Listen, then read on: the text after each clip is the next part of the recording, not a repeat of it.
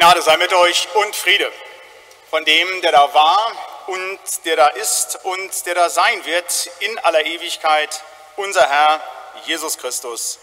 Amen.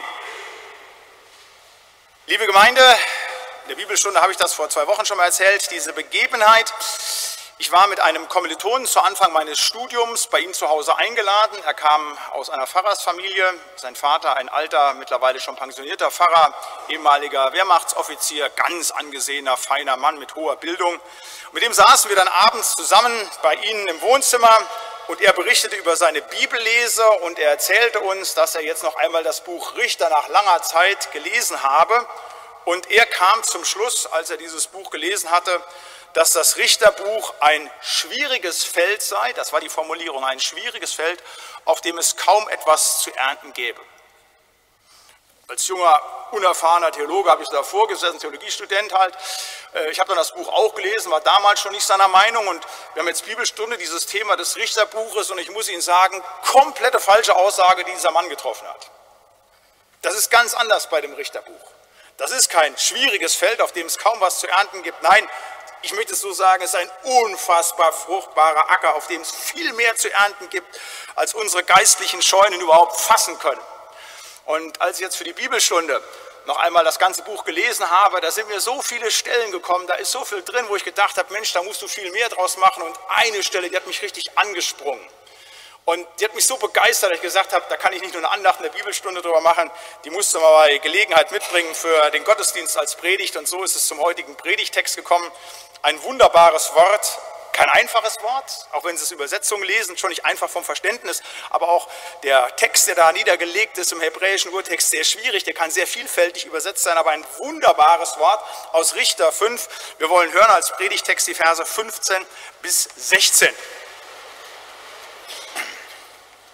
Dort heißt es, an den Bächen Rubens gab es die großen Entschlüsse des Herzens. Warum bist du zwischen den Hürden sitzen geblieben, um das Flötenspiel bei der Herde zu hören? An den Bächen Rubens gab es die großen Entschlüsse des Herzens. Amen. Wir wollen beten. Ja, lieber Herr Heiland, wir wollen dir Dank sagen für diese beiden Bibelverse, die du uns heute Morgen schenkst, für diesen Gottesdienst, für diese Predigt, für unser Leben. Und wir wollen nachdenken über diese großen Entschlüsse des Herzens, die dort gefasst wurden und nicht umgesetzt wurden. Wir wollen darüber nachdenken, wir wollen dich bitten, was das geistlich für uns auch zu bedeuten hat. Und damit wir das recht verstehen und damit diese Predigt uns zum Segen wird, darum brauchen wir dein Geleit, deine Hilfe für diese Predigt. Und darum wollen wir dich jetzt alle miteinander bitten, Herr. Segne du selber das Reden und Hören deines heiligen und lebendigen Wortes an uns allen. Amen.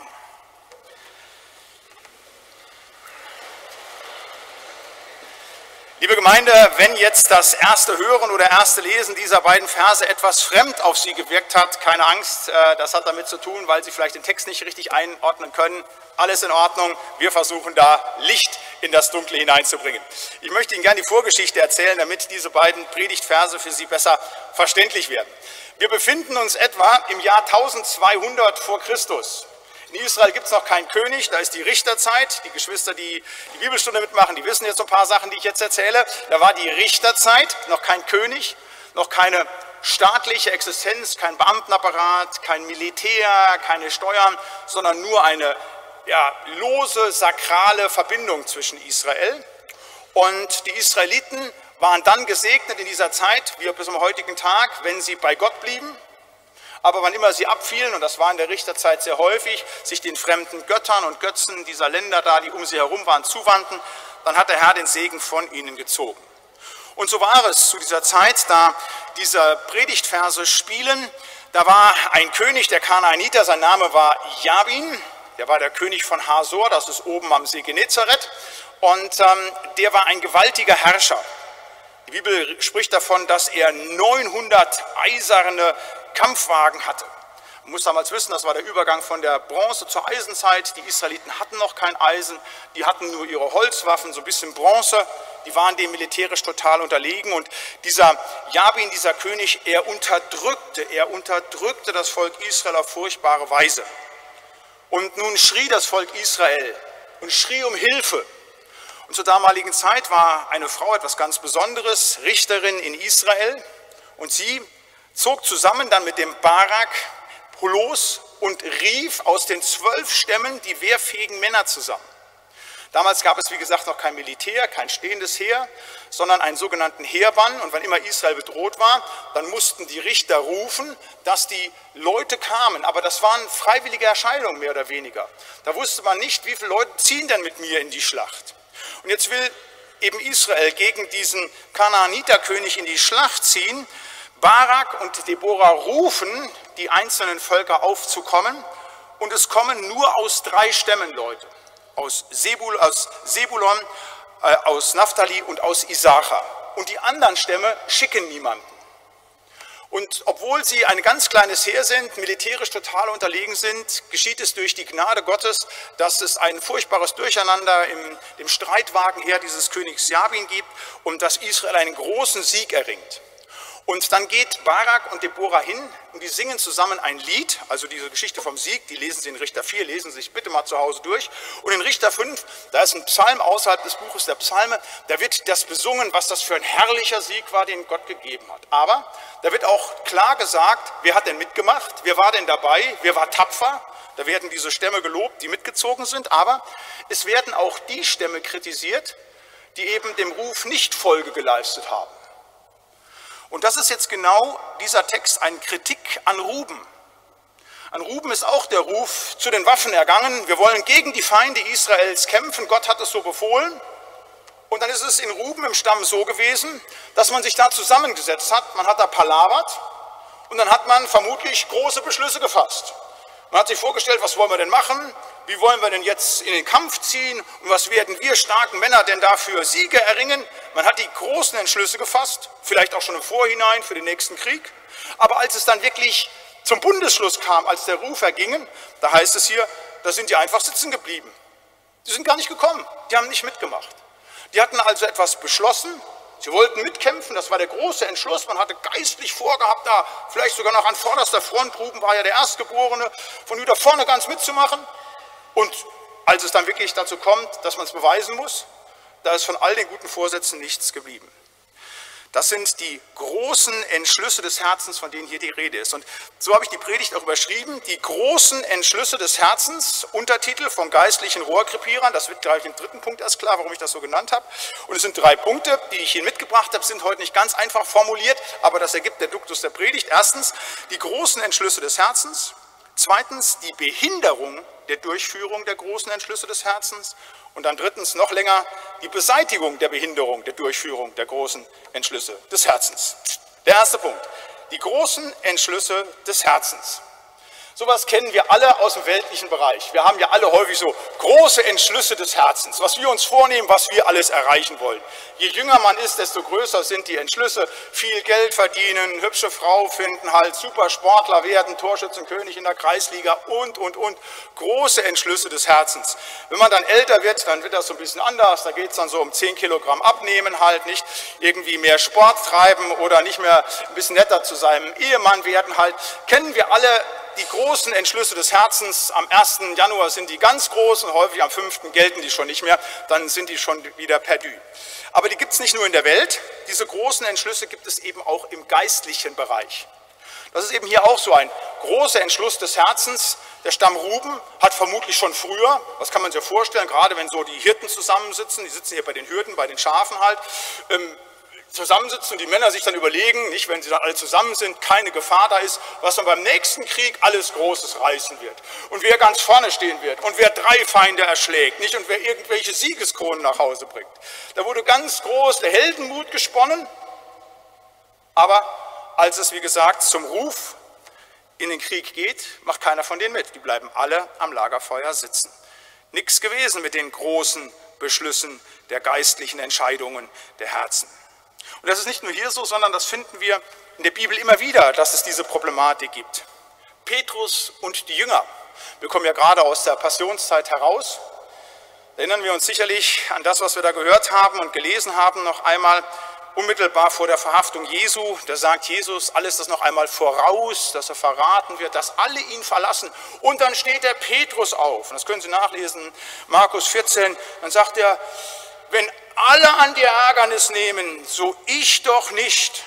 Dann sagt Jesus, nein, heute in dieser Nacht, wenn der Hahn zweimal kräht, da wirst du mich dreimal verleugnen. Und dann legt Petrus noch einen drauf. Und wenn ich auch mit dir sterben müsste, so werde ich dich niemals verleugnen. Riesenbeschluss des Herzens. Und er meint das in dem Moment auch ernst, gar kein Thema. Und keinen Tag später wird er zu diesem Riesenverleugner. Übrigens steht dann da, das Gleiche sagten sie alle. Nicht nur auf den Petrus bezogen, sondern die ganze Truppe, mit der Jesus losgewandt ist. Die haben große Entschlüsse des Herzens gefasst. Aber als es dann wirklich in Akte dazu kommt, zum Heiland zu stehen, gehen sie alle von der Fahne. Matthäus 21 lesen wir eine ähnliche Geschichte, das ist dieses, diese Erzählung von den ungleichen Söhnen. Da sagt der Bauer zu seinem, einer seiner Söhne und sagt, geh hin auf mein Feld und arbeite. Und er sagt ganz begeistert, jawohl, Vater, das will ich tun. Und er tat es nicht, heißt es dann. Der sagt auch ja, trifft einen Entschluss, etwas zu machen und setzt es dann nicht um. Johannes Markus, der Schreiber des Markus-Evangeliums, das ist der, der mit Paulus und Barnabas bei der ersten Missionsreise dabei ist. Die ziehen fröhlich los. Solange die in Zypern sind, das ist eine wunderbare Insel am Mittelmeer, ist alles prima, da läuft er mit ihnen. Als sie dann aber aufs türkische Festland kommen und durch die hohen Berge, da revidiert er seinen Entschluss und haut ab und macht nicht mehr mit. Hat auch einen Entschluss gefasst. Ich will auch Missionar sein. Und als es ein bisschen enger wird, sofort zurückgezogen. Entschluss des Herzens, so ein ganz großer, aus dem dann letztlich nichts wird geistlicher Rohrkrepierer. Oder denken wir an Paulus selber. Lesen es bitte nach, als Hausaufgabe habe ich es aufgeschrieben auf dem Predigtzettel Römer 7. Der beschreibt genau dieses geistliche Problem. Das Gute, das ich will, das tue ich nicht, sondern das Böse, das ich nicht will, das tue ich. Also da beschreibt er genau dieses Dilemma, das wir alle auch kennen. Da nimmst du dir so viel vor im geistlichen Bereich und das geht dann so ein paar Tage und dann ist das eingeschlafen, dann ist es wieder vorbei. Geistlicher Rohrkrepierer. Und das ist nicht nur in der Bibel so, in der Kirchengeschichte immer wieder ist voll davon, wo sich Männer und Frauen, die zu Jesus Christus gehört haben, ganz große Dinge vorgenommen haben und wo es dann ganz jämmerlich geendet ist. Ich erinnere mich an eine EKD-Synode in Leipzig 1999. Da hieß der Professor Jüngel eine flammende, sehr gute Rede. Und da sprach er über die ekklesiologische Lücke, also die Lücke in der Kirche, die existiert, weil nicht mehr missioniert und evangelisiert wird. Das hat er den Synodalen, den Bischöfen und Supernenten alles vor Augen geführt. Hat dann davon gesprochen halt, dass ohne Mission die Kirche nicht sein könnte. Mission und Evangelisation seien Herzschlag und Atmung der Kirche. Fantastisch. Und wissen Sie, was da passiert ist? Da sind die Synodalen aufgestanden, haben geklatscht. Und haben die auch gesagt, richtig, richtig, richtig und große Entschlüsse gefasst und nichts ist draus geworden, haben so drei Zentren für Mission gegründet, aus denen nichts geworden ist. Große Entschlüsse, nichts draus geworden. Haben wir eine missionarische Kirche, gar nichts von zu sehen. Das ist leider so. Als ist es ja leicht zu zeigen auf die Jünger, auf Paulus und auf irgendwelche EKD-Synoden. Wir wissen es ja selber von uns allen. Wir machen ja auch häufig nichts anderes als der Stamm Ruben da an den Bächen. Wir fassen auch häufig die ganz großen Entschlüsse des Herzens, wenn wir dann in unsere geistlichen Kämpfe ziehen wollen. Ab sofort werde ich etwas tun gegen meinen Jähzorn. Da muss ich angehen, ich habe es klar in der Schrift verstanden. Und zwei Tage später wird der Nächste auf der Straße schon wieder angeschrien, als wäre ich gar kein Christ. Ich will etwas tun gegen meine Geldgeilheit. Jetzt habe ich nochmal gelesen in der Bergpredigt, man kann nicht Gott und dem Mammon dienen halt. Ich habe mich fest entschlossen, was dagegen zu tun. Aber kaum, dass ich das nächste Mal meine Kontoauszüge oder meine Aktienauszüge gesehen habe, halt nicht, da läuft wieder das alte Programm, da ist nichts vom neuen Menschen zu sehen. Ich will was tun gegen meine Unversöhnlichkeit. Dass ich mich mit meinen Eltern, mit meinen Geschwistern, mit meinen Kindern nicht mehr versöhnen kann, weil die ja schuldig an mir geworden sind. Ich war ja Opfer. Natürlich weiß ich was davon, dass man Vergebung weiterzugeben hat halt, aber das hält nicht lange an, wenn ich dann entschlossen habe, das zu tun, sondern dann ist das weltliche Unrecht größer als die Vergebungsleistung unseres Herrn und Heilandes. Ich will etwas tun gegen meine Gebetsmüdigkeit. Das sind ja auch so Entschlüsse, die immer wieder fromme Menschen tun, dass sie merken, ich bete zu wenig. Und da wird was beschlossen, großer Entschluss, und zwei Monate später muss man feststellen, auch geistlicher Rohrkrepierer gewesen. Ich will etwas tun gegen meine Internetpornografie, gegen meinen Kleinglauben, gegen meine Undankbarkeit. Und da könnt ihr euch einreihen und gucken, wo ihr große Entschlüsse des Herzens gefasst habt im Geistlichen. Und dann aber nach einer gewissen Zeit feststellen musstet, wow, wir sind auch nur sitzen geblieben an unseren Bächen und haben da nichts gemacht. Ganz so wie der Stamm Ruben. Die großen Entschlüsse des Herzens. Und warum ist das so? Nun, weil wenn wir geistliche große Entschlüsse des Herzens fassen, sie behindert werden. Und damit kommen wir zum zweiten Punkt der Predigt, die Behinderung der Durchführung der großen Entschlüsse des Herzens. Das ist ganz interessant, wenn man sich jetzt in dieses, diese Situation versetzt halt, in der Ruben war, da habe ich mir gedacht, was hat die denn behindert? Also die haben einen großen Entschluss gefasst, die wollten da mitmachen, die wollten kämpfen, die wollten vorderste Spritze sein in dem Heerbahn Israels, aber nichts ist geworden. Was sind wohl die Gründe? Und im Nachdenken darüber und im Beten darüber habe ich drei Dinge gefunden. Es ist erstens ihre Angst, es ist zweitens das Flötenspiel bei der Herde und drittens ist ihre Bequemlichkeit. Das erste ist ihre Angst. Das war militärisch eine ganz schwache Truppe, das Israel damals, 1200 vor Christus. 200 Jahre später sieht das anders aus, das sind die die beherrschende Militärmacht. Aber damals ist es eine ganz, ganz schwache Truppe. Und dieser Jabin, wie gesagt, 900 eiserne Streitwagen. Und wenn du mal nur so einen lahmen Esel hast und da kommt einer mit 900 Streitwagen um die Ecke, dann weißt du, wie das ausgeht. Sie haben Angst gehabt. Das ist mir hundertprozentig klar, gerade wenn man das liest in Richter 4, wie das beschrieben wird, die Heeresmacht des Jabin, die hatten Angst, das ist verständlich. Aber, liebe Brüder und Schwestern, Angst hat immer mit dem Teufel zu tun. Immer, immer, immer. Immer, wo ihr Angst habt, egal was es ist, Angst krank zu werden, Angst nicht genug geliebt zu werden, Angst das Leben zu verlieren, egal was es ist, immer der Teufel, immer der Teufel, der will euch Angst und Furcht machen. Das ist sein Ziel. Angst und Furcht in dieser Welt und Vernichtung des Lebens. Das sind die Ziele vom Widersacher. Der häufigste Satz der Bibel lautet, fürchte dich nicht. Fürchte dich nicht. Wir brauchen keine Angst zu haben, wenn wir, ich komme mal zum Wochenspruch zurück, diese neue Existenz haben. Dann können wir fröhlich in alles hineingehen. Auch Ruben hätte keine Angst zu haben brauchen. Wenn die mitgemacht hätten, Gott hat ja für Israel gestritten. Es kam ja nicht auf ihre Heeresmacht an, sondern Gott hat für sie gestritten. Er hatte sie gerufen. Wir haben, wenn wir die neue Kreatur in Christus sind, nicht mehr den Geist der Furcht, sondern wir haben den Geist der Kraft, der Liebe und Besonnenheit, so heißt es in 2 Timotheus 1. Aber Ruben hatte Angst. Und wir haben häufig auch Angst. Wir fassen dann so einen geistlichen Entschluss und dann haben wir aber Angst, den umzusetzen weil es vielleicht Ärger mit unseren Freunden, mit den Kameraden gibt, weil ich vielleicht da zu viel von meinem Geld abgeben muss, weil sonst irgendwas ist. Wir haben Angst und deshalb bleiben wir an unseren Lagerfeuern sitzen und wird nichts aus unseren geistlichen Beschlüssen. Die Angst lähmt uns da. Ich darf das immer wieder wiederholen. Ihr dürft mir eins glauben. In dieser Welt haben wir Angst, geistliche Dinge zu tun und wir bereuen es dann das, was wir getan haben. Wir werden eines Tages es bereuen in der Ewigkeit, dass wir Angst hatten. Ihr werdet eines Tages, wenn er vor Jesus steht, so wie hier der Stamm Ruben, der kann auch nicht mehr sagen, oh, unsere Ängste waren berechtigt, sondern die werden bereuen, alle jetzt miteinander, dass sie damals nicht mitgezogen sind. Und uns wird es genauso tun. Wir werden unsere Ängste bereuen.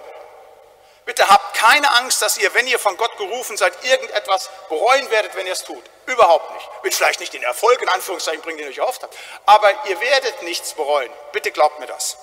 Aber Angst ist etwas, was eben Einflüsterung des Widersachers ist und es behindert die Durchführung der großen Entschlüsse des Herzens. Ein zweites, was die Durchführung der großen Entschlüsse behindert, das ist, so wird es hier gesagt im Text, das Flötenspiel bei der Herde. Das ist so eine schöne Formulierung. Also die Bibel sagt ja die Dinge nicht umsonst. Das ist ja nicht das Lied, was Deborah und Barak geschrieben haben, sondern es ist der Geist Gottes, der das gegeben hat. Nicht?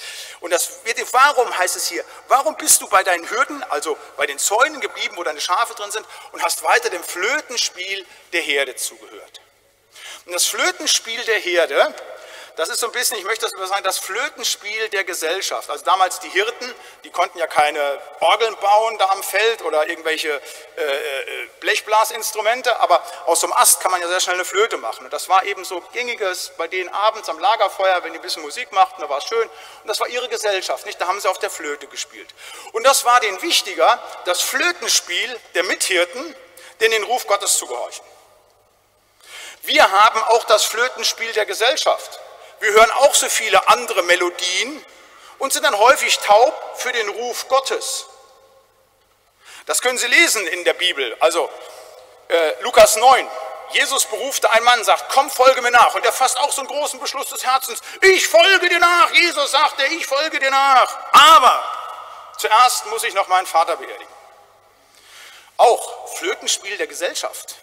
Er hat den Ruf Gottes gehört, aber der große Entschluss kann erst mich ein, weil er muss ja den Vater beerdigen. Oder ein anderer sagt, der ist ausberufen. Jesus sagt, folge mir nach. Er sagt, ja, ich folge dir nach, aber, aber lass mich zuerst Abschied nehmen von meinem Vaterhaus. Da sagt Jesus, wer seine Hand an den Flug legt und sieht zurück, der ist nicht geschickt für das Reich Gottes. Wer auf das Flötenspiel der Gesellschaft hört, der wird immer wieder an den Hürden sitzen bleiben und nicht in die geistlichen Kämpfe ziehen, die es gilt zu schlagen. Anderer Stelle, Lukas 14, ist die Rede davon, dass äh, der Vater, dass der König einlädt zu einem großen Festmahl. Er lädt ein, alle sollen kommen, die sagen alle zu. Und als dann tatsächlich der Tag der Feier ist, da sagen sie alle einander miteinander ab. Der eine sagt, tut mir leid, ich kann nicht kommen, ich habe geheiratet. Der andere sagt, tut mir leid, ich habe mehrere Gespanne Ochsen gekauft, die muss ich beschauen. Der dritte sagt, ich habe einen Acker gekauft, den muss ich mir angucken. Alles Ausreden, weil sie haben eben auf das Flötenspiel der Gesellschaft gehört. Acker, der Acker, das ist der Beruf, die Familie, die Ehefrau und die Ochsen, ich sage immer, das ist das Hobby, alles, was uns Spaß macht halt. Das Flötenspiel der Gesellschaft und das behindert das immer wieder, dass wir unsere großen Beschlüsse des Herzens durchsetzen können. Es gibt eine unglaubliche Bindungskraft des Flötenspiels der Gesellschaft, dass uns die Melodien der Menschen und der Dinge um uns herum so gefangen nehmen, dass wir dem Ruf Gottes nicht folgen können. Dann sind wir immer noch alte Kreatur. Ich erinnere nochmal an den Wochenspruch, ist jemand in Christus, so ist er eine neue Kreatur. Das Alte ist vergangen, sie es ist alles neu geworden. Aber ganz häufig ist es bei uns so, wir fassen die großen Entschlüsse des Herzens und dann bindet uns immer noch das Alte mit seinem Flötenspiel. Und ein drittes, was denke ich hier ein Grund ist, warum die das nicht machen, ist ihre Bequemlichkeit. Das heißt es ja auch in dem Vers, dass sie bei den Hürden sitzen geblieben sind. Jetzt kann man mal nachdenken, bei den Hürden und bei dem Wasser. Also damals vor über 3000 Jahren, wer so ein bisschen die Topografie Israels kennt, das ist ja nicht so wie bei uns, wo man jede Ecke Wasser findet, sondern das ist Wüstenland, da ist Wassermangelware, hier hatten sie Wasser. Hier war es gemütlich bei den Hürden, da hatten sie natürlich ihre Schafe, da hatten sie auch zu essen und da war warm, da war alles gemütlich bequem. Und wenn man jetzt in die Schlacht zieht, viele hunderte Kilometer entfernt, nicht nur, dass das gefährlich ist, dass man Angst davor hat, das ist einfach noch anstrengend. Der lange Fußmarsch, dann der Kampf, man weiß gar nicht, wie der Heerbann versorgt wird halt, das wissen wir aus anderen Stellen der Bibel heraus, dass sie da nicht so gut versorgt gewesen sind halt nicht. Da war es doch viel bequemer, viel bequemer, dort zu bleiben. Ich denke, das ist einfach Bequemlichkeit, was auch häufig dazu führt, dass die großen Entschlüsse des Herzens nicht umgesetzt werden. Übrigens, auch bei ganz großen Leuten spielt diese Bequemlichkeit, und Bequemlichkeit ist ja so eine Mischung aus Faulheit und Genusssucht halt, dass die nicht umgesetzt werden. Da ist Mose ein gutes Beispiel. Als Mose berufen wird, da sagt er nicht, als er den Ruf Gottes hört, jawohl, Herr, ich mache jetzt mit, sondern ich habe da auch schon mal drüber gepredigt vor einigen Jahren, da gebraucht er eine fünffache Ausrede. Da kommt er als erstes und sagt halt, als er berufen wird, er soll zum Pharao gehen, ja, wer bin ich denn? wie kann ich das denn machen, ich kleines Licht? Dann sagt Gott ihm, ich werde mit dir sein. Als das nicht zieht, kommt er bei der nächsten Ausrede und sagt, ich habe doch gar nichts theologisch auf der Pfanne. Die werden mir gar nicht glauben. Was soll ich denen denn sagen, was du für ein Gott bist? Da kriegt er den Namen Gottes offenbart. Nicht? Da sagt ihm, ich werde sein, der ich sein werde. Auch diese Ausrede begegnet Gott, sagt was ganz Wunderbares.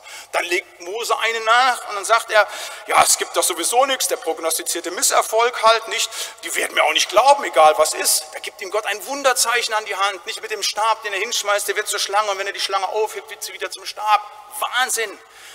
Dann kommt die Sache, sagt, ich habe nichts intellektuell drauf, ich kann gar nicht reden, schwere Zunge, auch dieses nimmt Gott auf und sagt, Mensch, du brauchst dir keine Angst zu machen, keine Sorgen, ich will mit deinem Munde sein, dich lehren, was du sagen sollst. Also alle diese vier Argumente, die zwar eine Unverschämtheit sind, denen entgegnet Gott noch mit einer wunderbaren Verheißung, einer Zusage.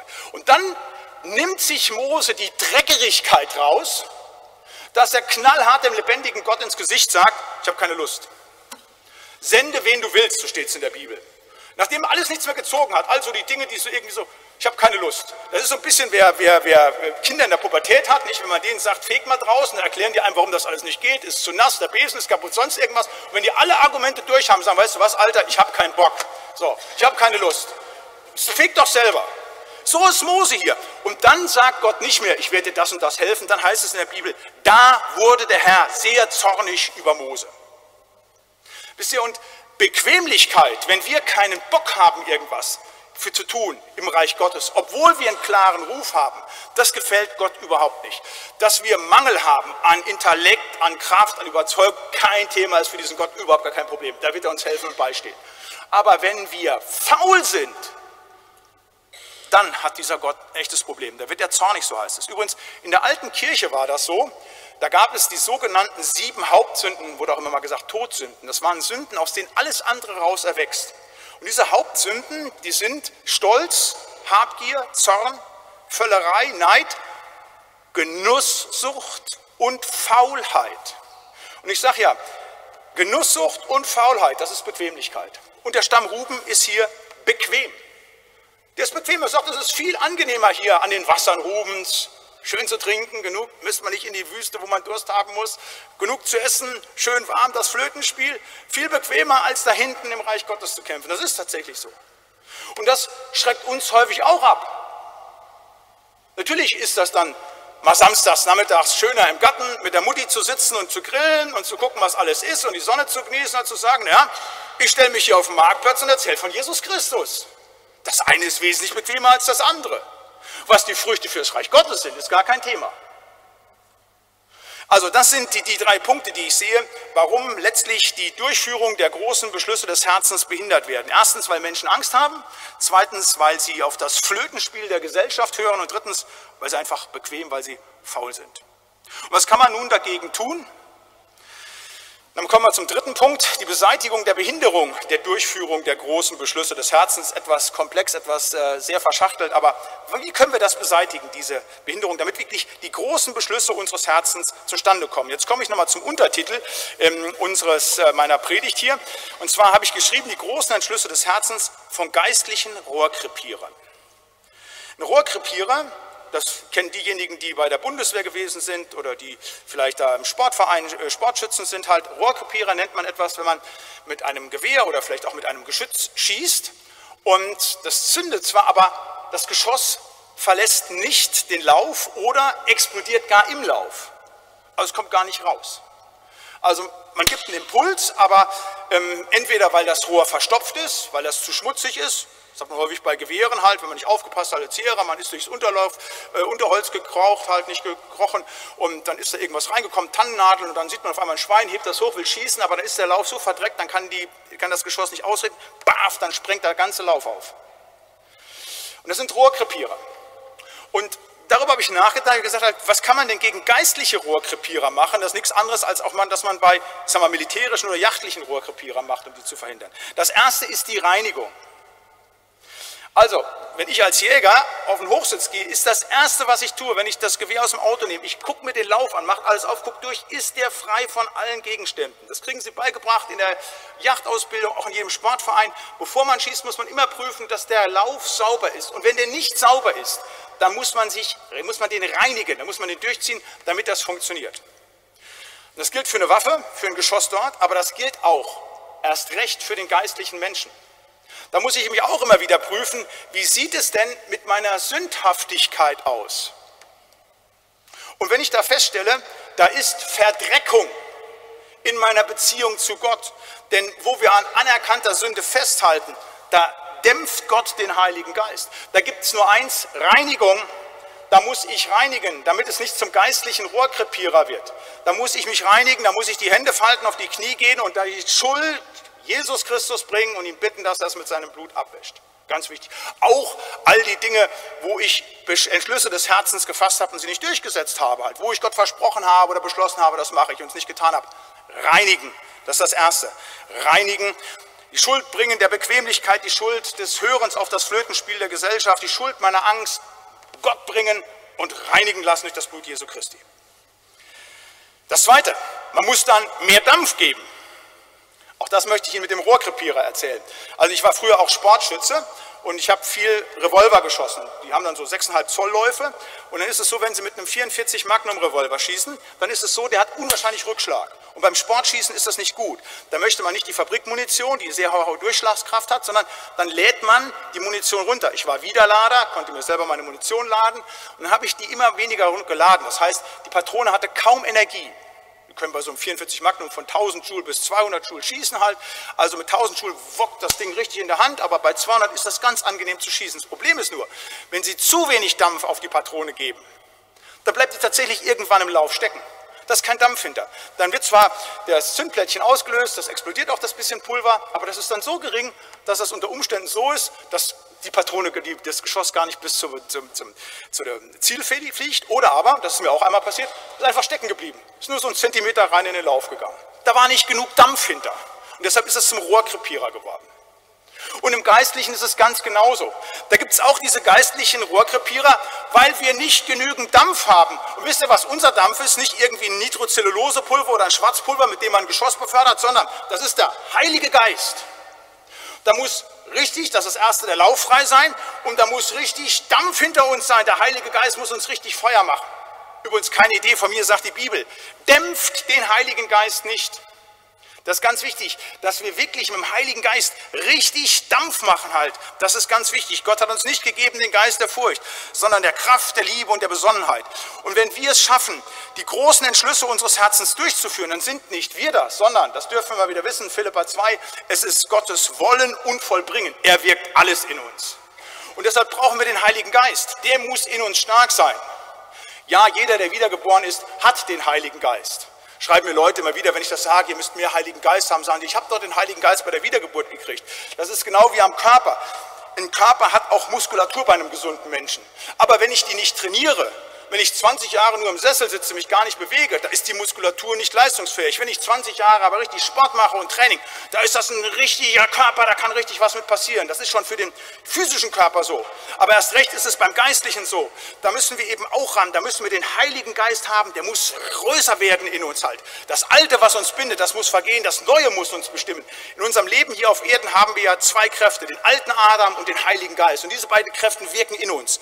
Und der alte Adam muss kleiner werden, immer kleiner kleiner, aber der ist immer noch da und der Heilige Geist größer. Und deshalb müssen wir da mehr Dampf kriegen. Und wenn ihr wirklich Entschlüsse des Herzens durchsetzen wollt, bittet Gott immer wieder um den Heiligen Geist, dass euch der Geist füllt und dass er euch das Vollbringen gibt. Nicht nur das Wollen, auch das Vollbringen. Bittet wirklich um den Heiligen Geist, dass er in euch dann groß wird. Also das eine Reinigung, das andere ist mehr Dampf geben. Und ein drittes möchte ich noch sagen, wir müssen einfach tapfer sein. Tapferkeit ist ja so eine Tugend, die missbraucht worden ist in unserer deutschen Geschichte. Aber da hat man das Kind mit Bade ausgegossen halt. Heute ist es ja überall nur noch schick nicht, wenn jeder mitheult und keiner Kraft hat und er nichts mehr machen will. Es fehlen in unserem Land, es fehlen in unseren Kirchen tapfere Männer und Frauen. Sowohl für die Politik wie für die Gesellschaft, aber erst recht natürlich auch in der Kirche. Tapfere Männer und Frauen, die vorangehen, die wirklich die Dinge des Herrn auch angehen. Das ist etwas ganz, ganz wichtig. Tapferkeit ist etwas, was gefordert ist. Lesen Sie es nach, 1. Korinther 60. Seid männlich, seid mutig, seid stark, wird da gefordert halt von den Korinthern. Nach vorne zu gehen.